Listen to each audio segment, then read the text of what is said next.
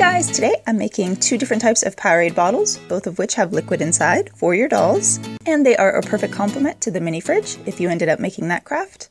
As always, if you make this craft, please tag me on Instagram, I'd love to see it, and kids, do be sure and ask a parent for help before starting this craft. Okay guys, so I use lids from these little rubber stamps for the larger bottles, and I found these at Target in the dollar section. You can get three for a dollar, but that ends up being six bottles. I thought the lids were really cool and perfect for this craft, and I'm thinking you can bag up the excess to preserve that stamp. And for the smaller bottles, just using these dental brushes that I get at Dollar Tree, you can get four for a dollar. If you've seen my soda bottle slime video, you've seen me use the top section, but this time I wanted to make use of the bottom section, which has this neat little detail that I thought kind of looked like Powerade bottles. So I cut it in half, and if it bulges out where your scissors split it, you can trim that off.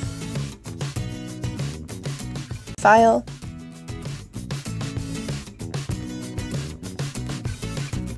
and then I can trim away some of that filing also. So it just depends on how uptight you want to be about the little bit of excess. And of course you can also carefully use an X-Acto knife. To shape the top I use hot glue, and I love manipulating hot glue into whatever shape I need. I think it's so cool that hot glue can do that. But it can be tricky, so kids do ask a parent for help. So I apply the hot glue around the edges and just a little bit in the center, making sure the whole thing connects flip it over, and then just allow it to kind of sag just a little bit. I give it about 30 seconds, and then just flatten the top just a tiny bit by pressing gently on parchment paper for a flat top that will accommodate a lid.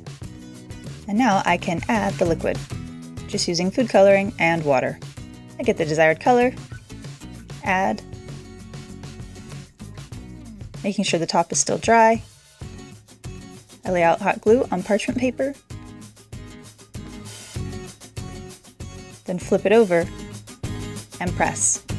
It is a bit warm, so you may want to use a piece of craft foam or something in between you and the parchment paper. I give it a few minutes and then peel away the excess hot glue. And I press it down to make sure it doesn't rip out of my bottom.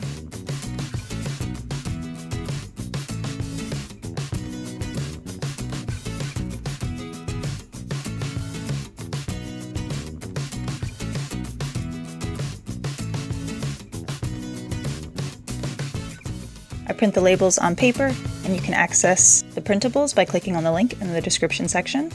Apply tape, trim, and tape around.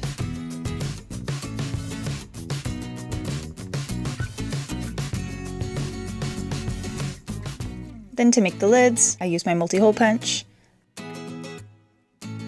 color with nail polish, and when dry, glue to the top.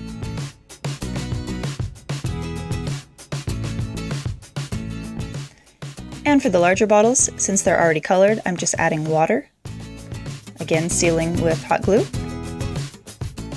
Peeling away. Then adding the label and the lid.